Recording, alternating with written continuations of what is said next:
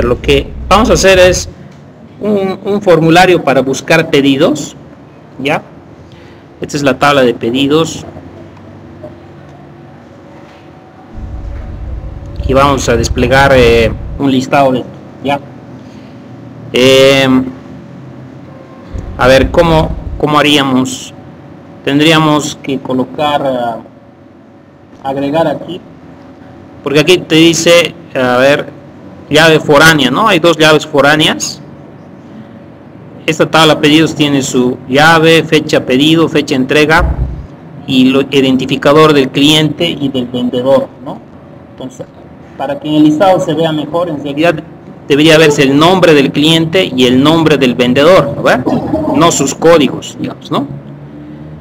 Para que tenga un poquito más de significado, digamos, ¿no? Para quien ve la tabla. Entonces, tendríamos que hacer un join, ¿no? Con las otras tablas. Eh, a ver.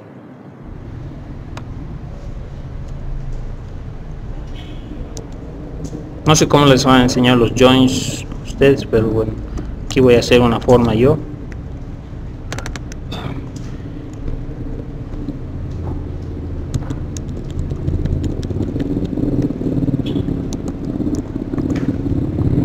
Esta tabla se une con la de clientes, ¿no?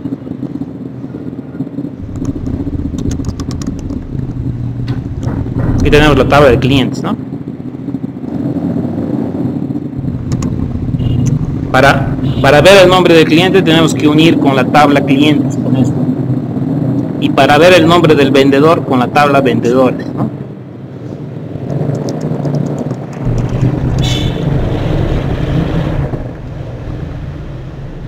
Aquí mostramos de los pedidos.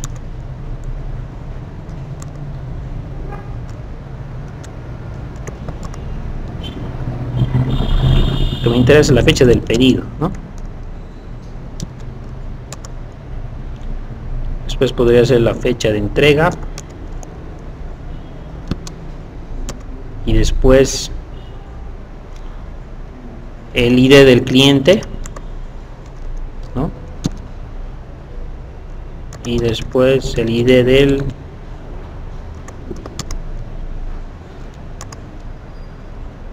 del vendedor ¿no? Ahora lo que queremos mostrar es el nombre del cliente, ¿no? El nombre del cliente está en la tabla clientes, ¿no? ¿Qué es esta? ¿no? Aquí está la tabla. El nombre dice nombre, ¿no? El campo nombre. Entonces aquí tendríamos que colocar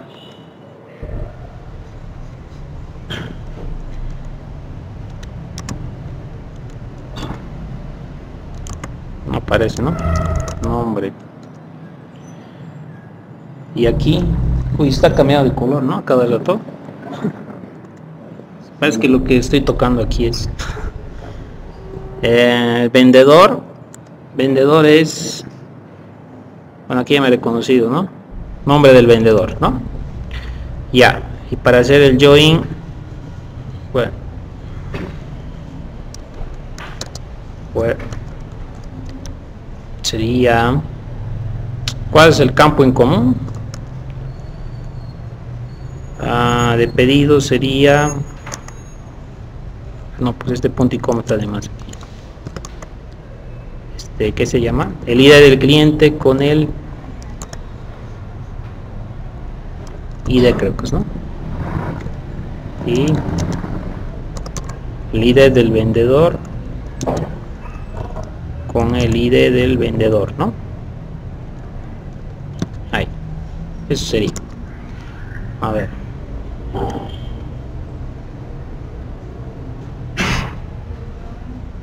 ¿Qué dice? Mm, eso tabla verdura. Clientes, no clientes, clientes, ¿no? Clientes. Ya. Entonces, ID, fecha pedido, fecha entrega, de cliente, el nombre del cliente es esto, ID del vendedor y el nombre del vendedor, ¿no? Entonces, está bien, ¿no? Esa más o menos tendría que ser la búsqueda, ¿no? Ok, entonces vamos a colocar esto en, en la aplicación, ¿ya? Entonces, eh, ¿dónde tendríamos que colocar? Bueno, para empezar, eh, repetimos, ¿no? Hacemos siempre en el modelo, en el modelo, en el Connection BD, agregamos un método para conectarnos, ¿no? Para hacer la búsqueda en realidad, ¿no? A copiar esto.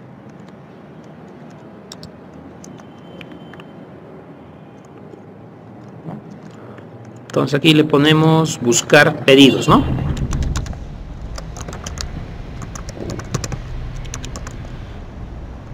Y va a devolver una lista de pedidos. Ah, pero no tenemos la, clase pedido, ¿no? Tenemos que agregar en el modelo. Recuerda que el modelo es la representación de tu base de datos, ¿no? Entonces, hay que agregar la clase pedido.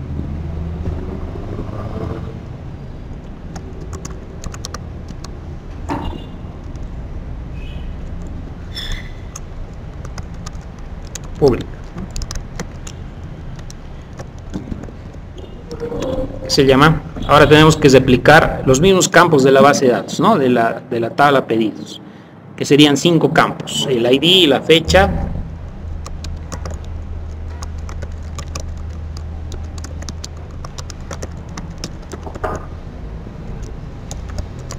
fecha pedido,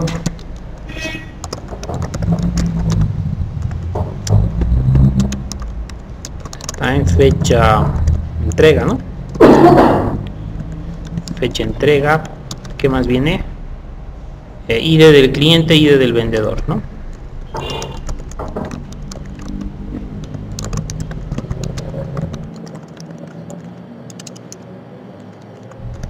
ID del vendedor. Ok, eso sería los cinco campos. Pero recuerden que en la consulta SQL hemos agregado dos campos más, ¿no? ¿verdad? ¿Cuáles serían esos? El nombre del vendedor y, el nombre del cliente, ¿no ve? Entonces, eh, si no los ponemos, eh, aquí van a faltar, ¿no ve? Entonces eso más vamos a agregar. Sería string, nombre cliente y string,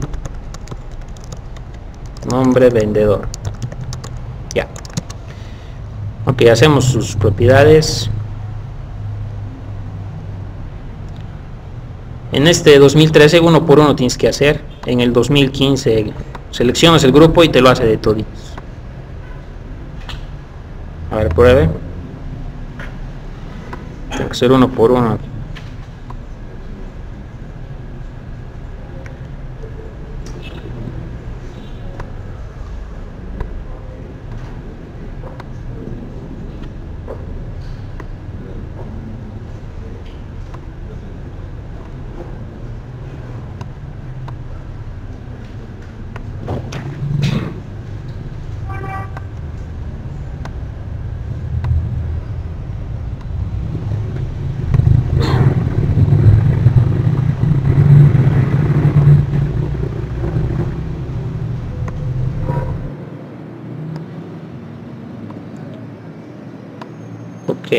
Creo que ya está todo. Sí, ya está todo. Bien, lo que me falta es el constructor, ¿no? Public, ¿qué se llama esto? Pedido, ¿no? Eh, siempre es buena práctica hacer dos constructores, uno sin parámetros y uno con parámetros. Entonces, los que son sin parámetros, generalmente hay que poner valores determinados que uno se define, ¿no? No me está reconociendo aquí, ¿por qué? No es, es así, ¿no? Son los nombres primario. ¿Qué viene después? Eh, en fecha pedido no hay nulo, ¿no? Les va a salir eso en dead time, no pueden poner nulo, tienen que poner una fecha. ¿no? En este caso pueden poner today, ¿no? Y la fecha de entrega vamos a poner eh, today no sé pues le sumamos le sumamos tres días a la fecha de hoy. ¿qué más es? y de cliente. Y de vendedor. Nombre cliente nombre vendedor. Ok. Esos son valores predeterminados. Y uno donde les pasemos valores ¿no?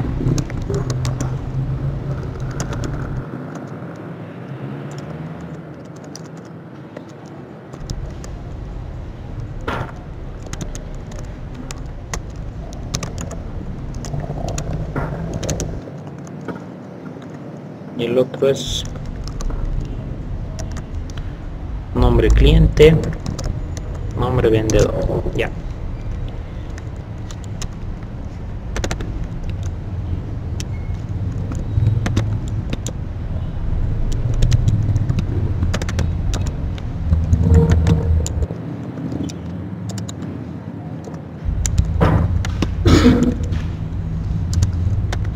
ok ya listo ya está estos constructores nada más. Ya está.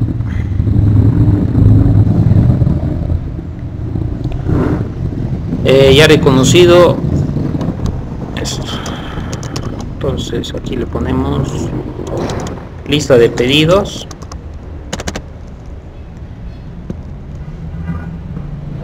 Aquí le vamos a poner la consulta esa no de la base de datos. Siempre es buena idea que prueben sus consultas no primero antes de colocar aquí.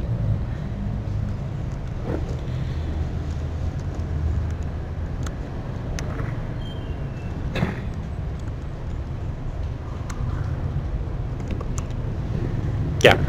Pero recuerden hay algo que nos estamos olvidando no es una búsqueda no entonces tendríamos que colocar no sé pues un, una condición no para hacer la búsqueda no en base a qué valor hacemos la búsqueda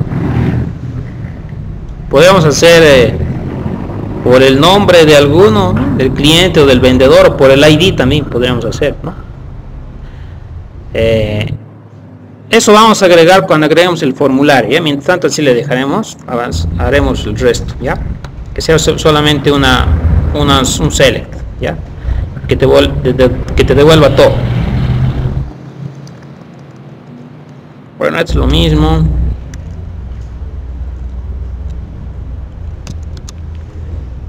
que viene aquí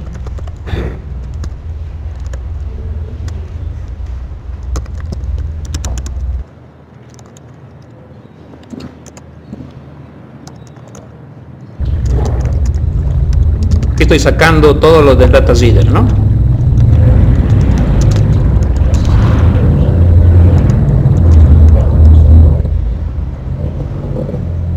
Tengo que sacar en el mismo orden por si acaso, ¿no? Eso ya sabe. Aquí ahora es ID.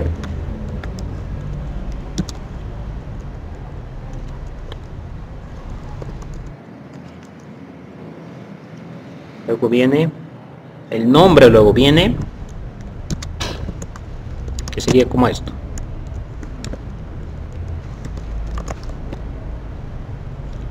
Nombre del cliente. Y después viene del vendedor. ¿No? Este sería ID del vendedor. Este sería nombre del vendedor. Ok. Y aquí le vamos a agregar grupos dice. Pedidos le vamos a poner. Pedidos. Aquí le vamos a decir pedidos ¿no? new pedido ¿no? y le vamos a poner todos los datos que hemos extraído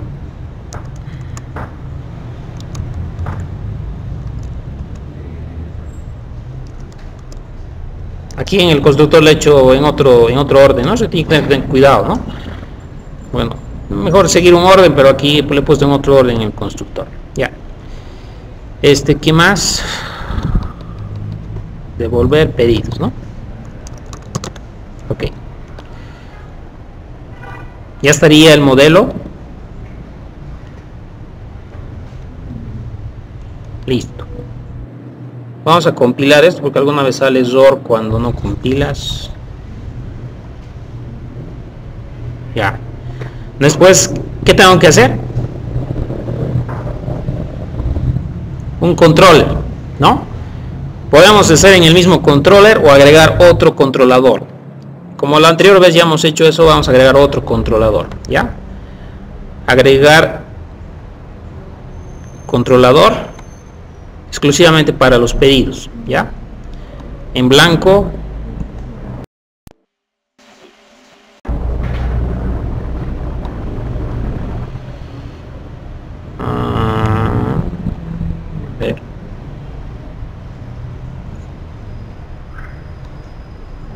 ¿Qué dice? Es no hubiera generado. Parece que se me sale error aquí. Aquí hay un error. No, no ha compilado. Un, paréntesis me faltaba. Sigue habiendo un error aquí. No se puede encontrar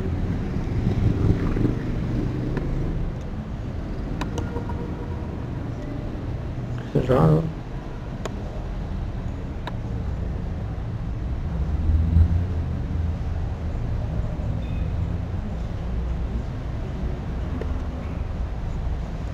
hacer aquí ahora sí no ya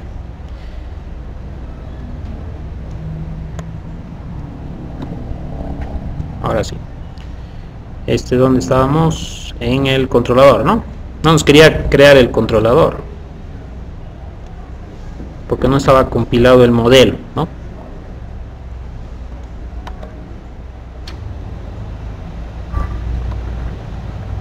Le vamos a poner pedidos, ¿no? Un controlador exclusivo para los pedidos. Ya. Este sería. Entonces, para y el acción index, ¿no? Para que podamos recuperar y hacer consulta en la base de datos, eh, tenemos que lo mismo que hemos hecho en el otro, ¿no? ¿Va? Hacer una como un atributo el connection bd, ¿no? Y si no nos reconoce,